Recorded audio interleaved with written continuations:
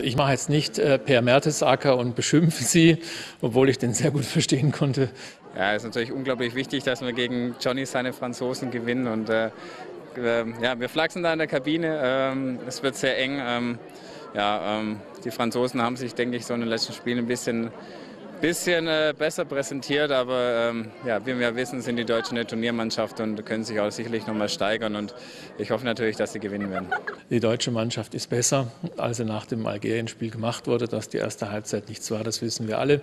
Aber da die französische Mannschaft ähm, eigentlich eine Mischung ist zwischen einem algerischen Team und einem Team aus Kamerun, ähm, würde ich sagen, und Kamerun auch nicht überzeugt hat bei der WM, äh, sind die Franzosen auch nicht stärker als die Algerier und wir haben gute Chancen, ins Halbfinale zu kommen. 2-1 für Deutschland.